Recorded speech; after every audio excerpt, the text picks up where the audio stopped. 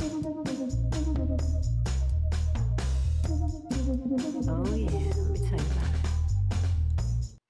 We are watching our first stand up routine for Inspired by and Why, and it's Good Grief from Marlon Wayans. And I had to pause it. We got through about 17 minutes of it, and this one right here is inspired to say a lot. Let me just let you kick it off. Well, the uh, title is appropriate because that's what I was thinking. Good grief. What am I watching? Well, you got jokes. You care to elaborate, Tim? um, I haven't heard the N bomb drop that much since uh, Eddie Murphy, or yeah, but um, so um, yeah, I was expecting something. I don't know, just not as basic and crude. Um, you know, which is which is you know just um, you know if I were if I were 13 years old, I'd be rolling on the floor. Um, but I guess uh, you know, like he's talking about good stuff, but it's just the way he's talking about it is just sort of like, wow, or, you know, it's like that's basic comedy 101 lowest common denominator type of stuff you know as far as the performance goes, he's selling his style of humor. Yeah. As far as the style of humor goes, we aren't folks who really just look the other way on using the N word over Right. and over. Right. But you know that Marlon probably would use it. And I was like, yeah, okay, yeah, Mhm. he's going to use it. plus he's at the apollo and so his audience might be more. Tolerant of Yeah, it. yeah But the subject matter is getting to me. It's feeling like this whole seeing your parents in different lights. And yes, he's being crude about it, Mhm. but it's also pushing like a lot of comedians will do to get that reaction from Yeah, you yeah. but make you face some stuff that yeah we don't usually try to face. I like the concept grieving but doing it with irreverence but it is crude. Yeah and yeah. it's getting a reaction out of me because the crude gets you into territories people just don't speak. So you don't hear these jokes except for when people push it. So i get it as a writer. As a performer he's selling what he has as you know somebody who's writing things and they're really exploiting the jokes he's doing that. Right. He's obviously a pro. Don't hate us out here. It's just different styles of jokes that people will do. Yeah. i don't know if we're going to make it all the way through this because right. gotta say, as far as being inspired, I've done a little bit of stand up, but not a lot. So it's not something I'm actually trying to mine for my own work. And this is something where we do tend to try to find things that we're trying to be inspired by to put into our own lives in terms of spirituality, health, right. acting, writing, music, relationship stuff, just all kinds of things. right For this, it's a little different because the style lends itself to a certain type of comedy. yeah yeah And there are a lot of times when you do want to push the funny and then pull it back for the tone when it's not stand up. But a lot of stand up can just stay pushed. yeah, yeah. You don't have to have a believable character. Here you are selling this is your story and you can sort of judge it up as you want to and you're given that license. I like the stand up format for people to really explore what they want to explore and not have mm-hmm. to fit it into other places.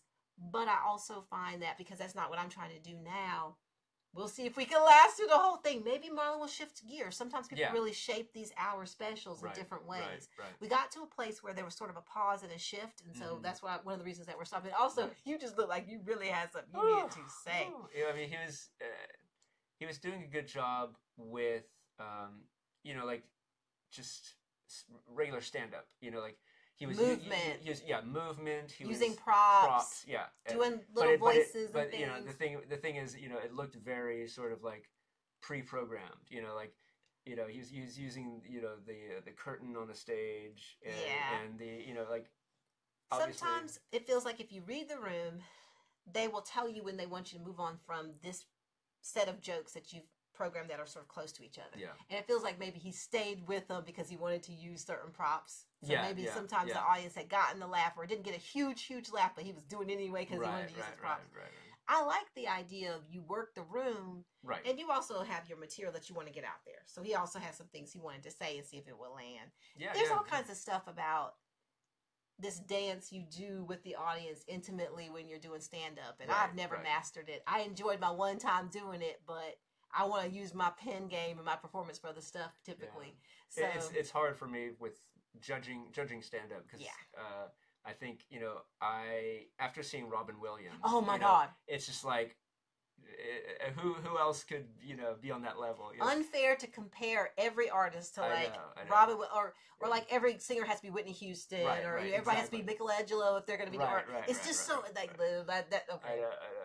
All right, well- so, uh, so I, admit that you know I I judge unfairly, you know, um, yes. you know from, but I mean he's you know other other than, you know basically he's doing a great job. Um, Marlon. Yeah, yeah, uh, Mar- Yeah. yeah, Marlon.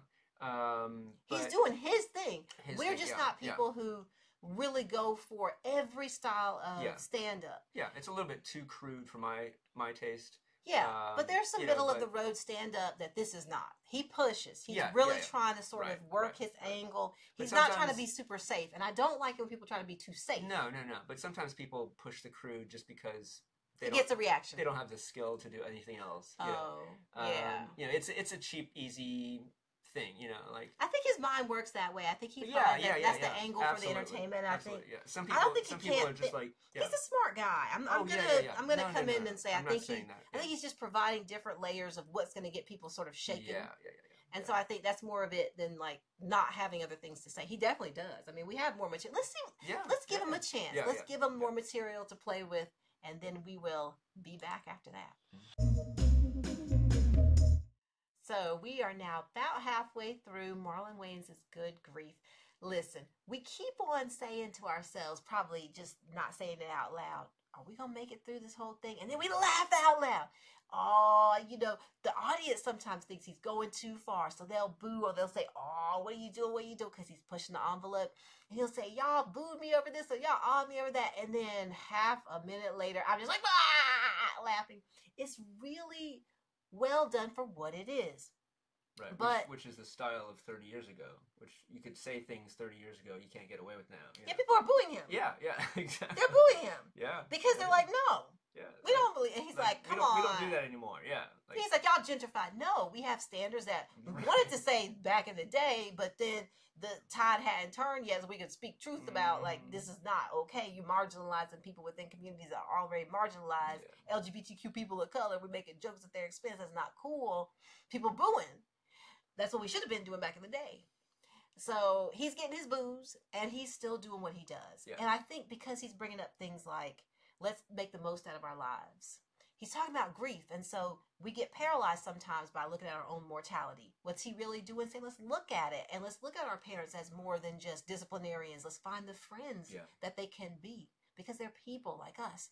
And Yeah. Under underneath everything he's saying Yeah. is you know good message. message. Yeah. He's starting with a message But and then getting in, crude be- and in, then in come back to a good message. is oh man, just like yeah, wow. But we're laughing out loud. You're over here like this. Yeah. He's over here watching like this. mm, And then something happens. He goes, ah, you know. So he's getting you too. Yeah, every once in a while. Every once in a while. I'm laughing so more. he, he he has the skill. He's just not flexing it all the time. it's the just- pattern of people are allowed to explore different types of comedy and you Yeah. want to do that so Yeah, you yeah, give yeah. people who have different styles in the audience Yeah. a chance to find you and come along with you some people like the physical humor some people like you know the Yeah. wordplay that's really cute he's done a little bit of the wordplay that's cute Yeah. and then there's also the gross out stuff some people like that some Right, people right, don't right, and then a little drop in of celebrity stuff because he knows celebrities and people sort of keep up with that and so we can fall oh yes oh no boo Yeah. you I make just, fun I just, somebody I like just keep on thinking to myself, like, really, we're still doing that? Like, not your style No, yeah, Well, I mean, you it, know was, what? it was i'm gonna ask you when I was 13. Yeah. I'm just saying. But, Shots no, fired. and every once in a while, he'll come up with something really witty and really Yeah, clever. And, he does. Yeah, He's So- allowing himself to have a range of things to serve more than just our style of humor Yeah. and his own interest. Yeah. He has his own interest for how he wants to tell this story about pulling us out of only thinking about um, you know happy topics. He's talk he's talking about and he's dealing with aging, dealing with mortality. Yeah. How Yeah. do we think about talk about the phrases that we use? right. and you know just blowing past some of the strictures that we have about seeing our parents only a certain way and instead hey can we loosen up and see them as people talk to them about sex talk to them about Right. different things And how they change over time, you know, absolutely as we all do. Yeah. because i don't know if we're going to make it much further through this let me just go ahead and say i think the writing of this is a style that you and i don't appreciate as much but it's well done for what it is would you agree with that Yes. yeah. And the acting, of course, he's really selling his thing. Y'all know Mhm. Marlon can really express what he has to say. as far as music at the beginning we had a little bit to kick off the show like people often do but for the fact that it's a stand-up routine it doesn't usually come up a lot for most people Mhm. stand up Mhm. and then when it comes to things like talking about relationships that's where this is strong like he really is getting into talking about like his parents relationship a little bit and making some crude jokes and being funny about it but also you know, daring to talk about some of the things that you might not think about talking about about Yeah. your parents break Yeah. that taboo Right. it can be instructive if you have a window into somebody else's relationship that's willing to be honest with you that can be helpful. Then in terms of spirituality he's making a lot of deep points i'm sure you got something that you can connect to spirituality Sure. there's actually a lot Yeah, yeah, yeah, absolutely. Um, the overarching topics that he's, you know, pulling from are, um, yeah, are, are good, just, you know, spiritual things. Uh, what's he saying? Like you were saying, you know, just sort of have compassion for for, everyone for people because we're all we're all flawed. yeah that's one of the early things he said Yeah, he didn't like- use the word flawed, but yeah, Because- but he's because that's that not point. funny. right but he's Oh. making that point in our faces Yeah. everyone is flawed but we're still going to need to recognize that we're doing the best we can Yeah, but we're yeah. all flawed Yeah, yeah, yeah, yeah. and then insert cuss word there Right, right. So that and was a he- you know, good- even he's good flawed, message. and you know, he said like apparently he started the whole program three hours late. You know, and that's uh, yeah, that's he has some hardcore fans that- in there That's flawed. Yeah, That was flawed. But in terms of other things like health, Yeah. another connection would be what that he's mentioned because he's mentioned quite a few things again about aging, right, right, right, and about right. how we think about you know sort of mourning that someone passed and we thought oh they're taking too soon, taking too soon. Well, who do we think is going to be going soon? So he's sort of getting into Um, these off color kind of things that yeah, yeah. it's like, but but you all know we think about that. If somebody doesn't look that well, you're like, I hope they hold on. Right. He's just saying it. Yeah, That's yeah, what yeah, we yeah, go we to these comedians for. yeah, They say the things right. that we, in polite conversation anyway, don't say. We try to say some of those things too, but we don't put as many cuss words. I mean, he there. was he he brought up what I was thinking. You know, when he was making the jokes about the Lakers, and you know, it's like, well, why didn't you bring up this person? You know, Wait, go ahead and tell people. okay. Spoilers. We're gonna tell so, the so he jokes said, here. you know, like why why didn't you take Shaq instead know, of his- Kobe, instead because that was instead a- of Kobe, an right, accident right. that nobody saw coming. It wasn't Right, about like and like really, issues. really, we're talking about Lakers that that why didn't you choose him? And it's like uh, you're waiting for the obvious one. Yeah, come. like what about Magic Johnson? You know, it's like and uh, yeah, this uh, and then you know he then he brought it up and I'm like oh okay yeah. because it's so obvious. It's like, But I think he still pushes things, even if they're obvious. He takes it to some place where you're laughing out loud Yeah, because yeah, he yeah, says yeah, something about it. You're just like, yeah. oh my gosh, I didn't see that coming. yeah, I mean he definitely does his job. He uh, you know, he- Absolutely. He, yeah he pushes things. He takes it to a place, and, and that's part of comedy. You have to you have to push. You have to push.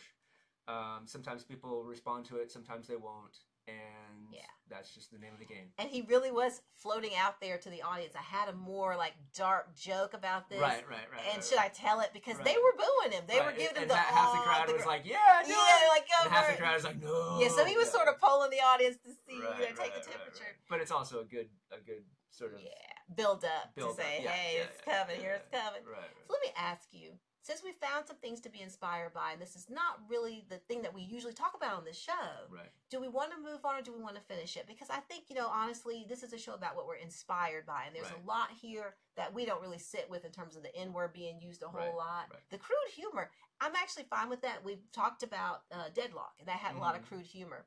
So I, I'm actually fine with yeah, I mean, crude not- humor. it's not- more the N word, to be honest with Yeah, you. yeah, it's a lot of N word being dropped yeah, a lot.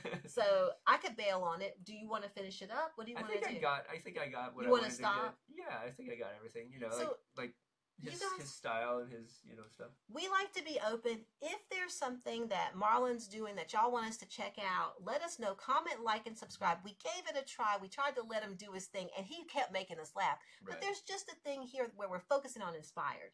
Yeah. And we respect him, the writing, the performance, Mhm. all kinds of things that he's doing, bringing up the spiritual connections, bringing up these deeper things about health, like talking about people, you know, and what they've been going through and sort of the way that a lot of us think about Yeah. and then uh, making some connection that's sort of funny. And for us, funny, but not enough to pull us all the way through. Yeah. Yeah. But also, I think with this show, we're sort of more primed to looking at scripted. And stand up is a different beast. Right, right. And so I think in the future, if there's something you think that could be an interesting combination, there's show, shows like Seinfeld, you know, where they did some stand up with something Mhm, scripted. mhm. But let us know if there's something out there that you think we should check out that would have stand up, that would be more of our speed that you want us to talk about. Comment, like, subscribe. And if you want to hear us talking about things that were a little pushed and a little crude, you can check out our talk about uh, Deadloch. Yeah, yeah. In the meantime, be inspired out there, enjoy, and as Marlon Wayans was saying, you know, really get the most out of your lives, y'all. Yeah.